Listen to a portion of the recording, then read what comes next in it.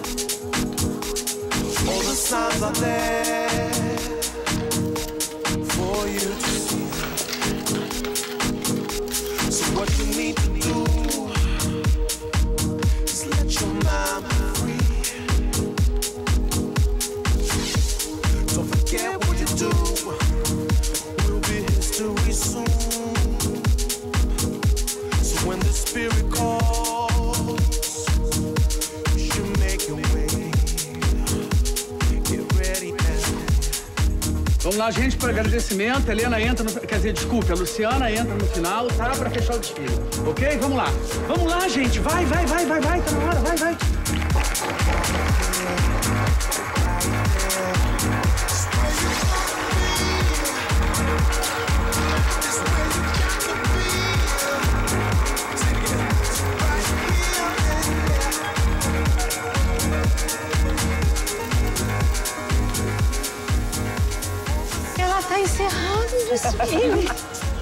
Menina é fogo.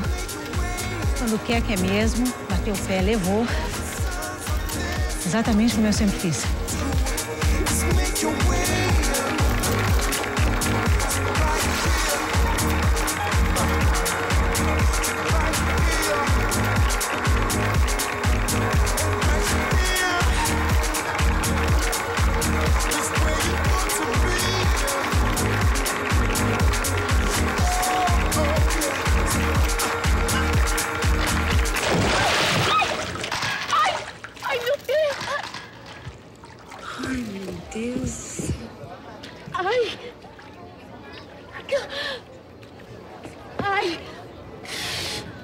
Tudo bem? Você tá bem?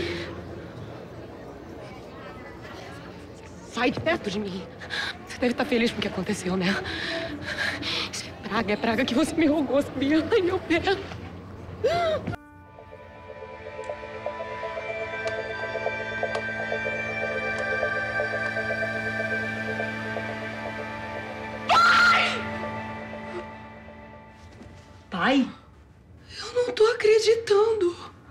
Tá acreditando sou eu. Calma, calma, eu explico. Explicar o quê, pai? Eu tô achando que eu quero uma armadilha. Ah, olha só. A mocinha cai aqui na cova do lobo e acha que tá entrando aonde? Numa igreja?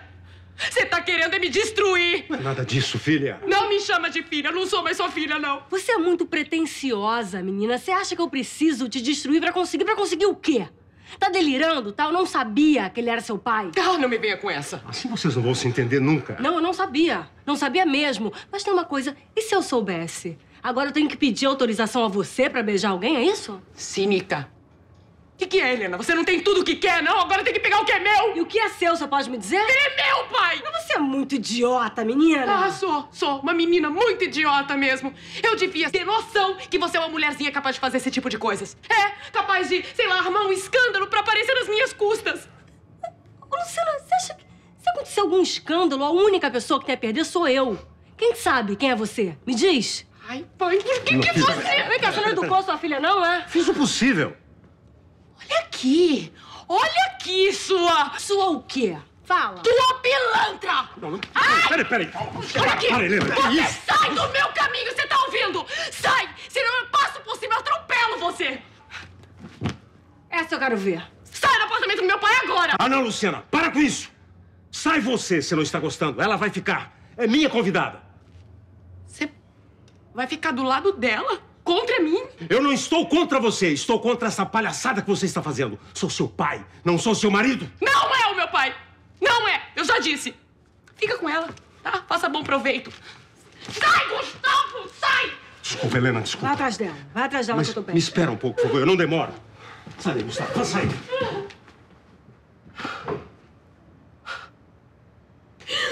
Lu, vem aqui, vem, vem. Para e conversa comigo, Lu. Não adianta nada fazer as coisas dessa maneira. Tá sendo infantil. É, tô sendo uma idiota. Isso sim, ela tem toda a razão. Meu Deus do céu. Ai, eu confiei em você enquanto você tava rindo das minhas costas. Não é verdade. Por isso que você não quer que eu more junto com você, né, pai? Tudo armado, que vergonha. Odeio Puta, você. escuta, filha, tudo aconteceu assim de uma hora pra outra, sem planejar nada, juro. Desce direto, moça, sem pegar mais ninguém, por favor. Sim, sim. Que situação, meu Deus.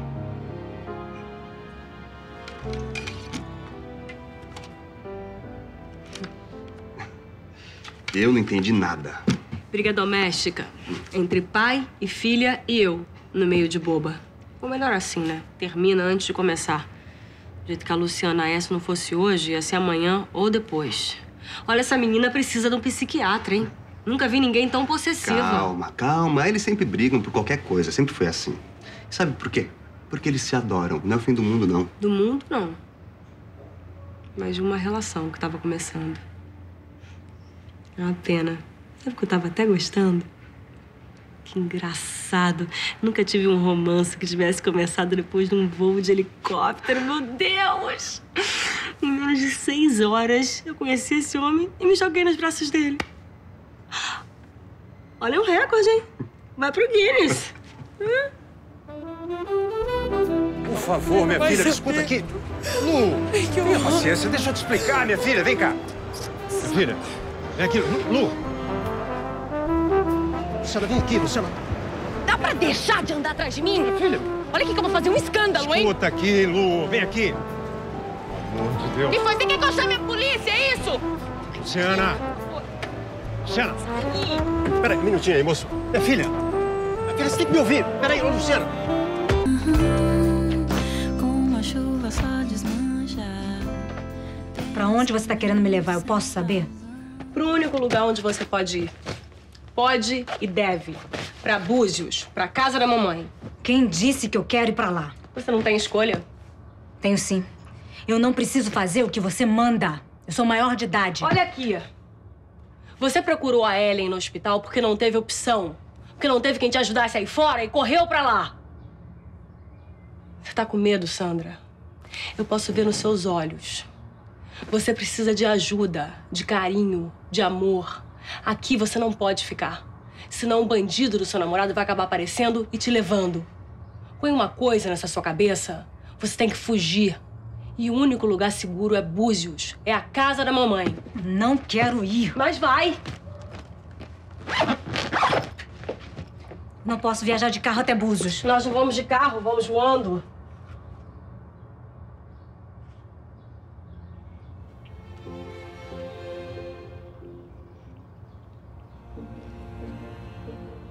Deixa eu te ajudar, Sandra. Não há muito mais gente que se dispõe a fazer isso por você. Eu vou tomar um banho e a gente já sai. A mamãe não precisa saber. A mamãe aguenta qualquer coisa. Pelo menos é o que ela diz. Como é que você vai contar pra ela? Eu? Você. Quem vai contar pra ela é você. Você não é maior de idade? Então. Dez minutos e saímos. Sua filhinha, aqui, tá grávida.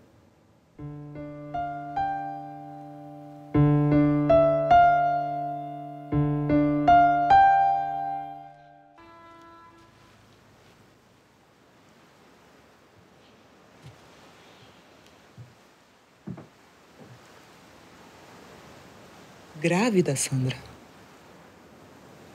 Mas eu nem sabia que você tinha casado. Ah, não, mãe. Ah, não, não, mãe. Mãe, não seja tão inocente. Se ela tivesse casada, eu não estaria com essa batata quente na mão. Engravidou do namorado. Que namorado? Um vagabundo, um drogado que espanca ela dia sim, dia não. Eu odeio você! Você não tem direito de falar assim comigo, não, não tem! Calma! Vocês querem me matar? Nós vamos ter que dividir esse problema entre nós todos. Sozinha, eu não aguento mais. Pelo amor de Deus, poupem seu pai. Ele passou mal a semana passada. Teve dor no peito, foi no médico. Vai ter que fazer exames no Rio. Pode ter sido uma ameaça de infarte. Satisfeita? Você quer mesmo matar todo mundo a começar por mim? Sem coragem de dizer uma coisa dessa pra mim, que tô aqui tentando salvar você e essa criança que você tem na barriga. Eu não pedi a sua ajuda. Nem estou interessada em criança nenhuma. Não vou ter esse filho, eu já disse. Não fala assim. A senhora tá ouvindo, né? Ela quer abortar. Meu Deus do céu. Vamos sentar e conversar direito depois do almoço, tá? Que almoço, mãe? Que almoço? Quem quer comer numa hora dessas? Edith, a Leninha chegou? Chegou sim, tá aqui comigo. Então vamos almoçar. Tô parado de fome. Tá bom, um minutinho. Pede pra pôr a comida na mesa. Me chamam pra almoçar e me deixam plantado. Por que não me chamou, Leninha? Eu ia até o Rio e a gente conversava lá. A senhora não entendeu, mãe. É aqui que ela vai ter que ficar. No Rio não dá mais. E na minha casa, muito menos, que daqui a pouco a polícia vai aparecer por lá. Que cretina! Que polícia! Para, Sandra! Para! Não adianta mais tentar esconder, você tá ferrada e só a gente aqui é que vai poder te ajudar. Olha aqui.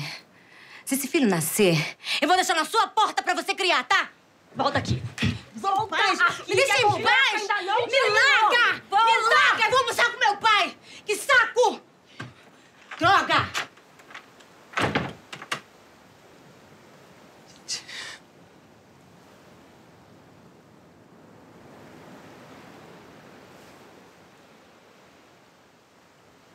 Loucura, filha.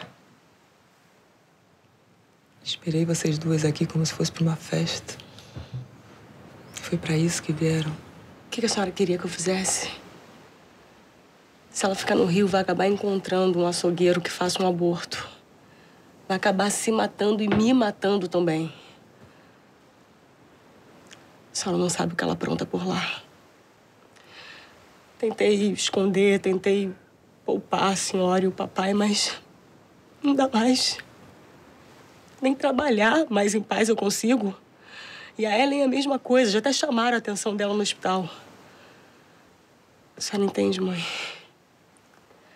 Ela vai ter que ficar aqui. Ter o filho aqui. Depois a gente vê o que acontece.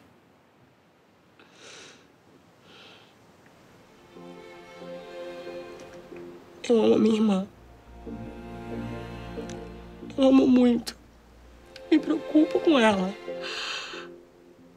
Às vezes eu sonho que ela espancada até morrer. Eu vivo angustiada, eu vivo angustiada, esperando que em algum momento, em qualquer momento, alguém vai me ligar e vai falar alguma coisa.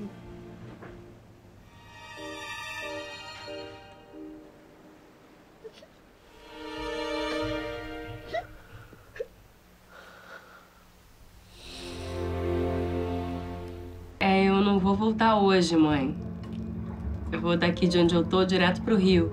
Mas, Leninha... Eu tô num iate de um amigo. E amanhã, bem cedo, a gente vai pro Rio. Pelo mar. É, leva menos tempo do que de carro pela estrada. Aí quando eu chegar lá, eu ligo pra senhora, tá bom? Tá, tudo bem. Mas as suas roupas, as que você trouxe. Ah, deixa aí, mãe. É roupa que eu só uso aqui mesmo. É até bom, né? Que quando eu voltar, eu não preciso trazer nada. Então tá bom. A gente se fala amanhã. Beijinho, benção. Tá. Boa noite. Se cuida direitinho, filha. Tudo bem. E a Sandrinha, voltou logo? Tá tudo bem? Tá, tudo bem. Tudo em ordem. Um beijo. Beijo, mãe. Tchau.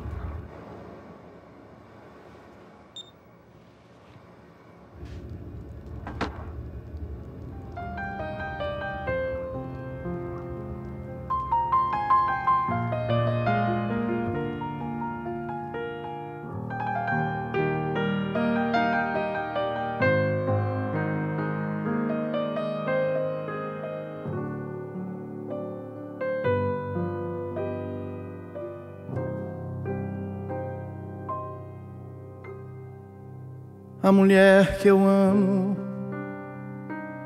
tem a pele morena, é bonita, é pequena e me ama também. A mulher que eu amo tem tudo que eu quero e até mais do que espero encontrar em alguém.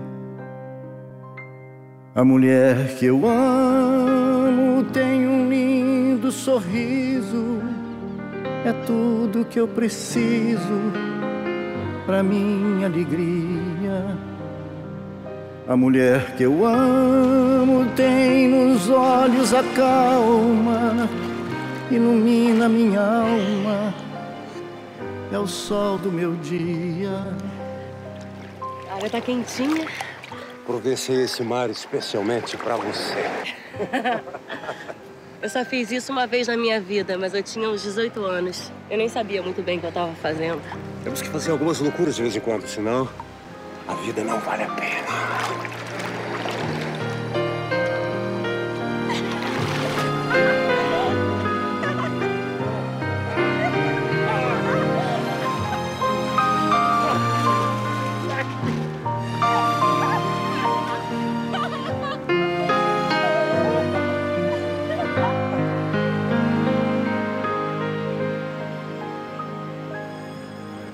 Imaginando o que suas filhas vão dizer quando souberem que eu estou aqui, usando as roupas e o biquíni delas. Mas você viu como os armários estão cheios? Elas nem se lembram do que deixaram aqui? Sempre fui tão egoísta. Odiava quando minha irmã pegava as minhas coisas. Por isso que eu entendo muito bem quem não gosta. Calma, pra quê? Pra quê? Pra que se vestir agora? Ainda temos duas horas de viagem. Por falar nisso, quando partimos, meu comandante? Quando? Já partimos. Jura? Nem senti? Vem cá, vem. Vem. Ai! Ai!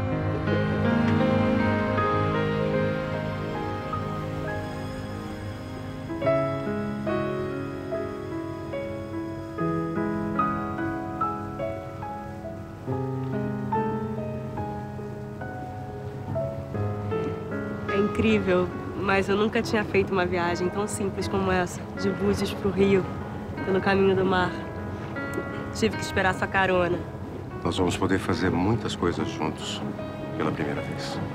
Vamos, é. Hum, Tenho certeza. Existem momentos que eu gostaria que durassem pra sempre. Esse, por exemplo. Seu amor é pra mim o que há de mais lindo. Se ela está sorrindo, eu sorrio também. Tudo nela é bonito, tudo nela é verdade. E com ela eu acredito na felicidade.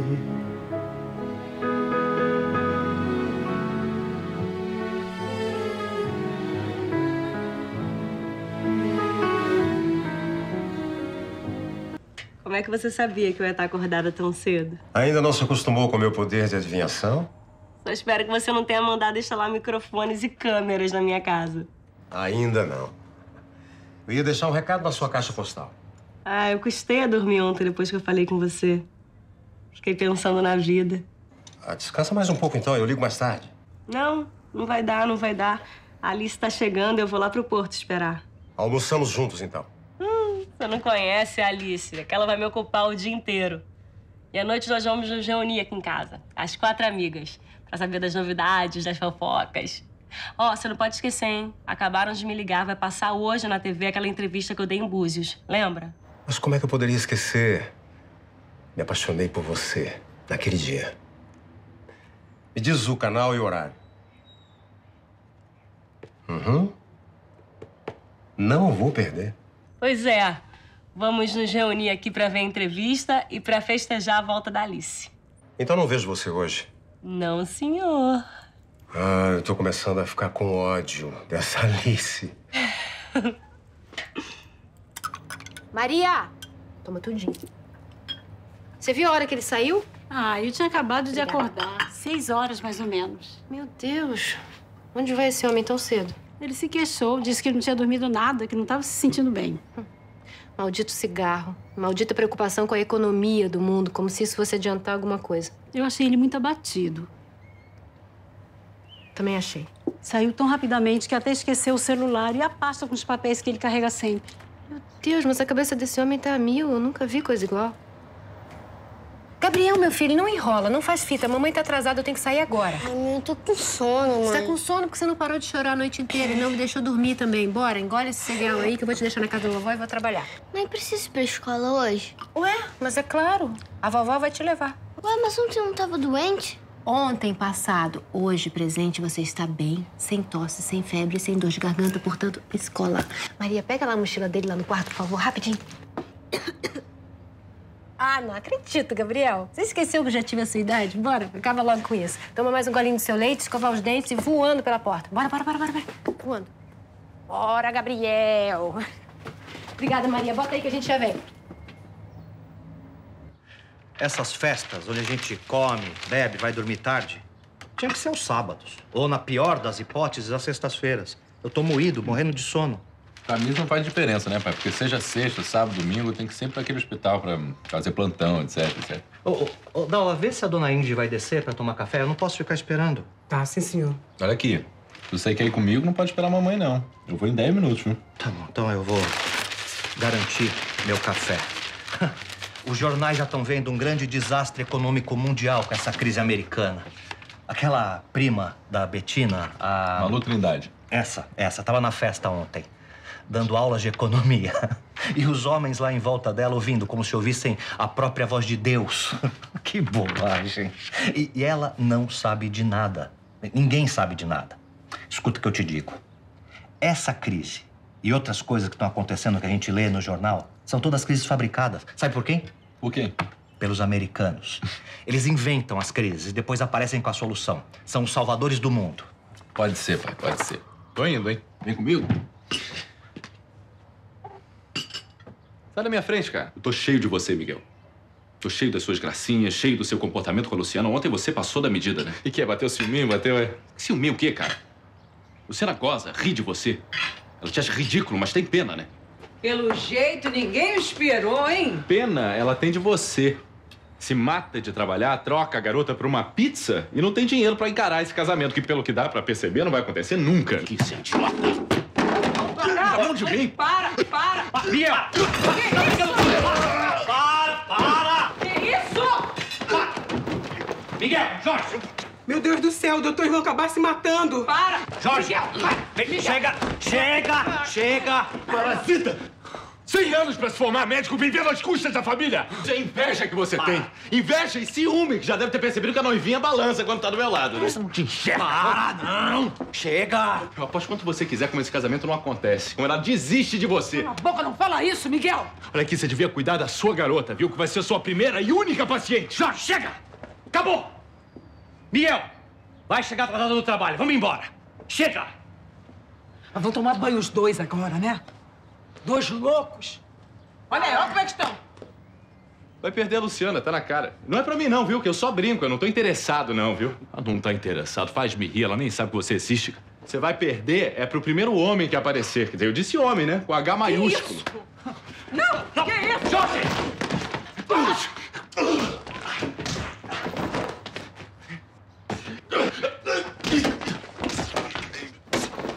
Me larga!